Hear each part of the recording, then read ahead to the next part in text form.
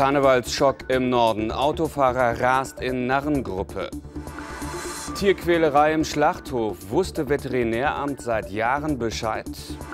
Und wo Hans Albers und Siegfried und Roy auftraten. Hansa Theater wird 120. 21.45 Uhr, NDR aktuell. Guten Abend, meine Damen und Herren. Das bisschen Karneval, das es im Norden gibt, war einem Autofahrer anscheinend auch noch zu viel. Als eine Gruppe von Narren den Weg nicht frei machte, drehte er durch. Zwei Menschen wurden schwer verletzt. Gegen den Fahrer wird wegen versuchten Totschlags ermittelt. Der Fahrer muss aus dem Stand Vollgas gegeben haben. Die Windschutzscheibe ist durch die Wucht des Aufpralls geborsten. Mitten in die fröhliche Faschingsgruppe von 50 Menschen. Zwei Männer aus ihren Reihen, 47 und 58 Jahre alt, werden schwer verletzt. Ein tragischer Unfall. Anders kann das ja nicht sein. Leider nein, meint die Polizei. Wir haben Grund zur Annahme zu glauben, dass hier jemand mit Absicht in eine äh, Personenmenge reingefahren ist. Fastlamsbrüder, die hier äh, zum klassischen Schnorren unterwegs waren. Das klassische Schnorren, ein Internetvideo aus dem vergangenen Jahr. Sogenannte Fasslamsgruppen ziehen von Haus zu Haus, bitten um kleine Geldbeträge für die Feier. Auch Autos werden angehalten.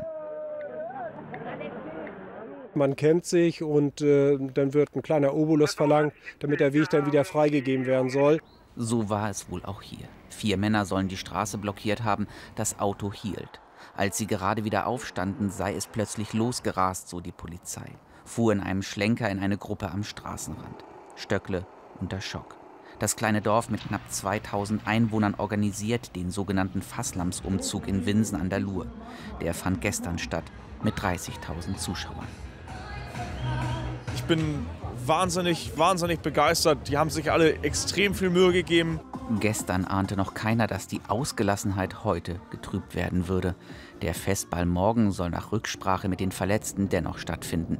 Die Polizei ermittelt wegen versuchten Totschlags gegen den Fahrer. Er wurde ärztlich untersucht und danach zunächst in der Psychiatrie untergebracht. Nach der Großrazzia gegen einen Schlachthof in Bad Bramstedt vergangene Woche ermittelt inzwischen die Staatsanwaltschaft wegen Tierquälerei und mangelnder Hygiene. Wie sich nun herausstellt, soll das Veterinäramt aber schon seit Jahren von den Zuständen gewusst haben. Warum hat es dann nichts unternommen? Vion, der größte Player auf dem deutschen Fleischmarkt. Tierärzte gehen hier ein und aus, auch in Bad Bramstedt. Das Kreisveterinäramt hat sogar eine eigene Niederlassung auf dem Gelände. Seinen Mitarbeitern darf nichts entgehen und ist es auch offenbar nicht. Das belegt ein interner Brief des Veterinäramts aus dem Jahr 2011. Ein Tierarzt berichtet von offensichtlichen Mängeln bei vier von 29 Tieren. Am Tag darauf sieben Abweichungen von 31 Tieren. Gemeint sind falsch gesetzte Bolzenschüsse, die Tiere unnötig leiden lassen. Nach außen gibt sich die Behörde allerdings ahnungslos. Auf eine Anfrage der Tierschutzorganisation PETA heißt es, In meiner Behörde liegen keine konkreten Zahlen bzw. Unterlagen über sogenannte Fehlbetäubungen vor. Meine Behörde ist nicht im Besitz dieser Information. Dieses Veterinäramt in Bad Bramstätte mitsamt dem gesamten Landkreis dort ist dermaßen ne, eng verbandelt mit diesem Großkonzern, der ja nun auch eine gewisse wirtschaftliche und auch politische Macht hat, dass von einer unabhängigen Behörde hier überhaupt nicht mehr die Rede sein kann. Der Kreis Segeberg wollte sich heute nicht zu den internen Dokumenten aus seinem Veterinäramt äußern. Der Vorgang solle zuerst geprüft werden, so ein Sprecher. Ähnliche Fälle wie 2011 haben auch zu den neuen Ermittlungen der Staatsanwaltschaft in Bad Bramstedt geführt wegen des Verdachts auf Tierquälerei. Über einen Informanten erfuhr der Landwirtschaftsminister von den Vorgängen im Vion-Schlachthof. Das Veterinäramt hatte ihn nicht in Kenntnis gesetzt. In diesem konkreten Fall gibt es offensichtlich äh, Probleme, die wir abstellen werden. Und ob daraus Konsequenzen grundsätzlicherer Art zu ziehen sind, das wird die weitere Analyse zeigen müssen. Mit Vion wird sich die Politik schon am Mittwoch wieder beschäftigen, im Umwelt- und Agrarausschuss. Überraschende Nachricht aus Niedersachsen heute. Der grüne Umweltminister will das umstrittene Fracking wieder zulassen, wenn auch unter strengen Auflagen. Grundwasser, Tiere und Pflanzen dürfen durch das Fracking nicht leiden, verlangt Niedersachsens Umweltminister Wenzel. Ausgerechnet der grüne Minister will nun bei dieser umstrittenen Fördertechnik vorpreschen. Doch er will nur die sogenannte konventionelle, also die hydraulische Methode genehmigen. Die unkonventionelle, bei der das Gas mit einem Wasser-Chemikalien-Gemisch herausgepresst wird, bleibt verboten. Bürgerinitiativen und Umweltverbände laufen dennoch Sturm, weil sie befürchten, dass das moderne Fracking bald folgen könnte. So schön ist Schleswig-Holstein und deshalb sollen noch viel mehr Gäste hierher kommen. Mit einer neuen Tourismusstrategie soll das gelingen. Die Ideen dazu sind eigentlich ganz simpel. Englische Speisekarten müssen einfach vorhanden sein. Das ist wichtig, wenn man jetzt auch ausländische Gäste werben möchte. Und der Wirtschaftsminister hat noch mehr Vorschläge. Eine Tourismusagentur, die künftig Nord- und Ostsee gemeinsam vermarktet. Wie erfolgreich die neue Strategie ist, soll in fünf Jahren überprüft werden. Drei Tage nach dem tödlichen Hubschrauberabsturz in der Ostsee vor dem Dars hoffen die Ermittler jetzt auf die Aussage des einzigen Überlebenden. Der 47-jährige Co-Pilot wurde inzwischen aus dem Krankenhaus entlassen und soll jetzt so bald wie möglich vernommen werden. Es war ein Routineeinsatz. Die Besatzung von Christoph Offshore 2 bei einer Rettungsübung vor dem Dars. Was dann genau passierte, bleibt ein Rätsel. Der Hubschrauber stürzt plötzlich ins Meer. Drei Männer können sich nicht mehr befreien und ertrinken in der Ostsee. Nur der Co-Pilot überlebt. Experten fragen sich jetzt, warum wurden die Kissen für die Notwasserung nicht geöffnet? Die Notschwimmeranlage, die an dem Hubschrauber angebaut ist für Flüge über See, wird durch die Besatzung aktiviert und die ist nicht aktiviert worden. Von der Seite kann man nur sagen, dass der Unfall für die Besatzung so überraschend kam, dass sie gar keine Gelegenheit hatten, die entsprechenden elektrische oder manuelle Aktivierung vorzunehmen. So wie in diesem Internetfilm blasen sich die Luftpolster blitzartig auf für eine Notlandung auf dem Wasser. Die Crew war erfahren, geschult für die Rettung auf hoher See. In Notfällen sollten sie den Bauarbeitern des nahegelegenen Windparks Baltic 1 zu Hilfe kommen. Einmal in der Woche probten sie das Manöver, technisch ausgestattet für den Ernstfall und vorbereitet auf Notsituationen. Wir haben Unterwasser-Atemhilfen dabei, äh, wie gesagt, die uns im Fall von einer Notwasserung zwei bis drei Minuten Atemsauerstoff liefern, um gerade zu vermeiden, äh, dass man, ich sag mal, Kälteschock kommt oder nicht mehr atmen kann. Stimmenrekorder und Flugschreiber an Bord sollen jetzt bei der Aufklärung helfen. Diese Speichermedien werden dann in den nächsten Wochen ausgewertet. Das ist ein nicht ganz einfacher Vorgang, weil die elektronischen Geräte eben alle im Meereswasser, im Salzwasser gelegen haben. Das heißt, die müssen erst getrocknet werden und dann hoffen wir, dass sie dann noch auslesbar sind. Morgen sollen die Ergebnisse der Obduktion des verstorbenen Piloten weiter Klarheit bringen. Der Co-Pilot steht noch unter Schock und kann voraussichtlich erst Mitte der Woche befragt werden. Alarmierende Nachrichten von der DAK heute. Demnach ist die Zahl von jugendlichen Patienten in psychiatrischer Behandlung innerhalb der vergangenen Jahre um das Sechsfache angestiegen, im Norden sogar besonders stark. Zwei Drittel sind Mädchen und junge Frauen zwischen 10 und 19. Die Experten machen vor allem die gesellschaftlichen Umstände für diese Entwicklung verantwortlich. Wir sehen, dass der übermäßige Medienkonsum, insbesondere Computerspiele, äh, eine Rolle dafür spielen, dass äh, Kinder, Jugendliche vereinsamen, dass die nur noch sich in ihrem Zimmer zurückziehen. Solche Warnsignale würden heutzutage besser erkannt und schneller therapiert werden. Daraus schließen die Mediziner, dass die Bevölkerung für diese Krankheit sensibilisiert und daher die Zahl der behandelt depressiven Kinder gestiegen ist.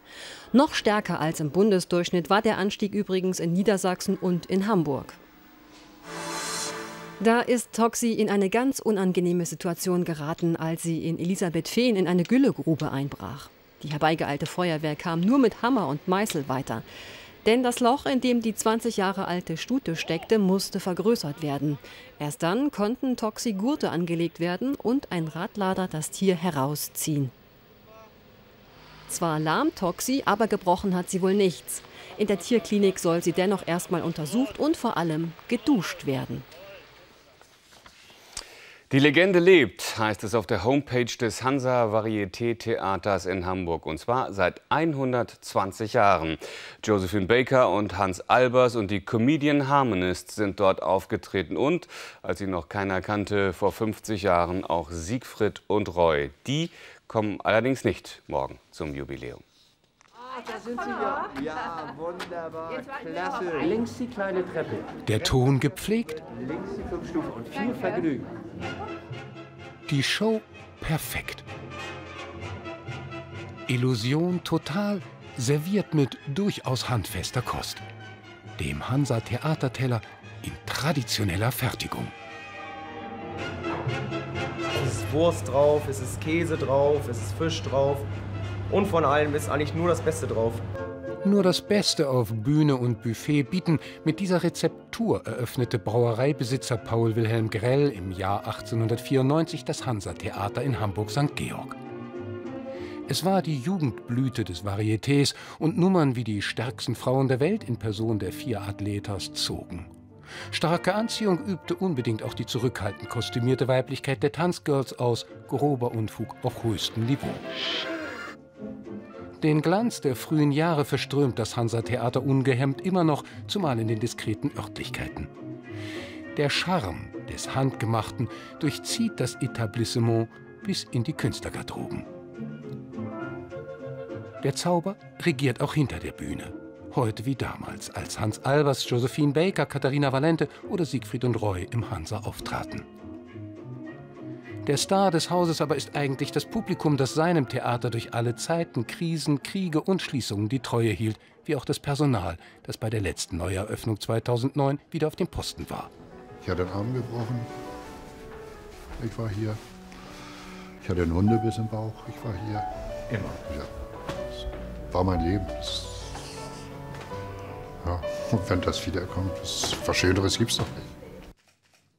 Und das Varieté lebt.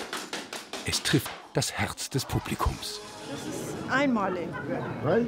Ja. Wunderbar. Kriegen Sie kein anderes Mal geboten. Dieses Ambiente, dieses Kuschelige, dieses Gemütliche. Es ist Nostalgie auch ein bisschen. Das Hansa-Theater. Seit 120 Jahren solide Heimat höchster Taschenspielerei. Herzlichen Glückwunsch. Die Nachrichten aus Deutschland und der Welt beginnen jetzt allerdings mit der bedrohlichen Entwicklung in der Ukraine. Russland, Russland rufen hunderte pro-russische Demonstranten. Sie haben die Regionalverwaltung in Donetsk gestürmt. Und auch auf der Krim hat Russland faktisch die Macht übernommen. Russische Soldaten umstellen ukrainische Militäranlagen. Warnungen vor einer Eskalation kommen von UN-Generalsekretär Ban Ki-moon. Ich fordere Russland auf, nichts zu unternehmen, was die Situation weiter eskalieren könnte und mit der Ukraine Verhandlungen aufzunehmen. Heute die Top-Meldung im russischen Fernsehen. Das Telefonat zwischen Merkel und Putin. Die Maßnahmen seien angemessen, um die russischsprachige Bevölkerung vor Nationalisten zu schützen, soll Putin erklärt haben. Ebenfalls Thema das Einsetzen einer sogenannten Kontaktgruppe zur Lösung des Konflikts. Über mögliche Sanktionen gegenüber Russland wollen die EU-Staats- und Regierungschefs auf einem Sondergipfel am Donnerstag beraten. Ist der ehemalige Paralympicsläufer Oscar Pistorius ein Mörder oder nicht? Seit heute wird in Pretoria darüber verhandelt. Es ist der erste Strafprozess, der in Südafrika live übertragen wird. Ein kompletter TV-Kanal zeigt rund um die Uhr nichts anderes. Pistorius soll vor einem Jahr seine Freundin erschossen haben. Er sagt, er habe auf einen vermeintlichen Einbrecher gezielt. Strüsschen, Kamelle und Schokolätsche wurden heute tonnenweise von den Prunkwagen geworfen. Allein zum Zoch in Köln kamen eine Million Schaulustige. Im Rheinland und auch im Mainz wurde die Politik durch den Kakao gezogen. Genauso Limburgs Protzbischof Tepertz van Elst. Ganz aktuell die Edati-Affäre und die Krise auf der Krim. Und wir schauen aufs Wetter. Morgen wird sich der Nebel im Nordwesten auflösen und die Sonne setzt sich durch. Sonst ist es sehr unterschiedlich bewölkt, wobei sich die Wolken im Laufe des Tages von Südosten her verdichten. Zwischen Stettiner Haff und Elbe fällt dann strichweise geringer Regen, sonst bleibt es trocken. Die Temperatur zwischen 7 und 12 Grad und die Aussichten da tut sich nicht so viel. Es bleibt im Grunde bei recht freundlichem Wetter. Das war der Tag im Norden. Hier geht es weiter mit Gefragt, Gejagt. Schönen Abend, bis morgen 21.45 Uhr, NDR aktuell.